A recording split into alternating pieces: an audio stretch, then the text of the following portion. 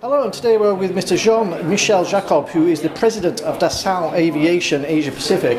Good afternoon to you, uh, Jean-Michel. Good afternoon. Now, here we are with discussing today the Falcon 8X primarily. Could you tell us, since the Falcon 8X was launched, how many have you sold to date? I think that's about more, Mm, about 50 aircraft has been sold uh, today. And in terms of the, the target that you have for, let's say, for the next five years, what is your target for you looking for?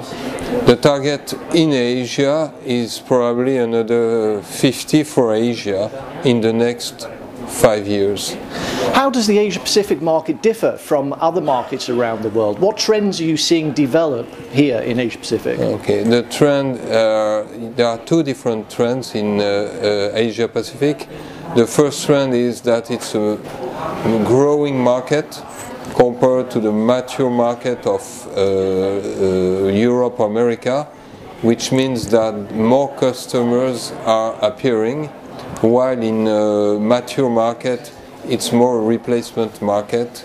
Here we have more what we call concept buyers acquiring their first aircraft. How, how oh, sorry, go ahead, yes. The second trend we see is that in Asia Pacific, people buy more ultra long range aircraft than smaller aircraft. In terms of the markets specific to Asia Pacific, what trends are you seeing? Which are the most important markets for you today, and where do you expect the future markets to be? Okay, for the time being, the most important market is mainland China. It shows for everybody, including Dassault. Over the last seven years, we sold more than 50 Falcon in China, new Falcon.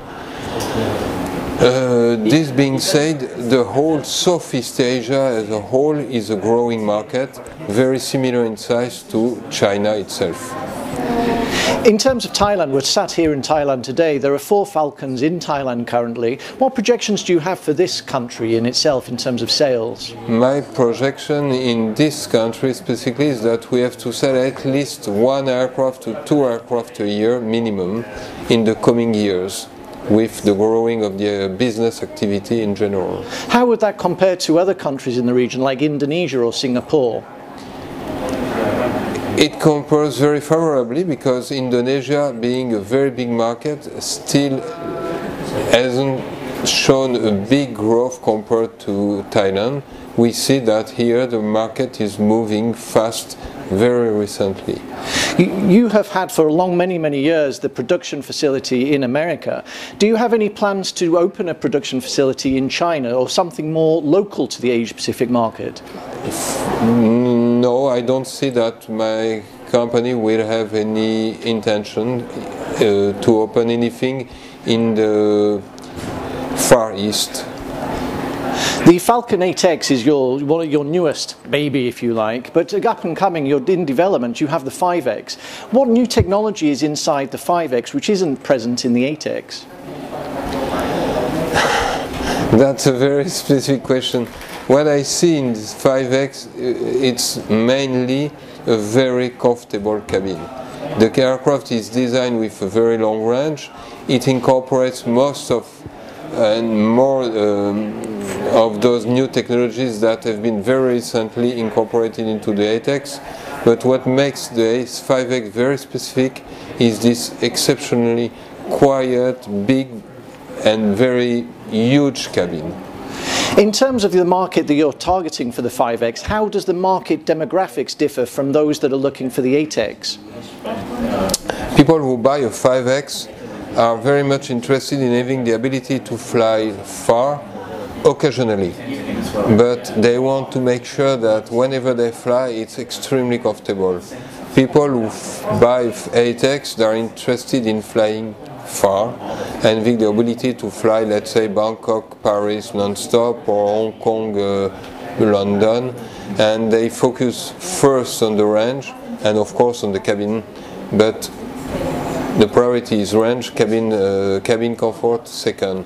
5x cabin is first, but range is still very good with 5,200 nautical miles of range.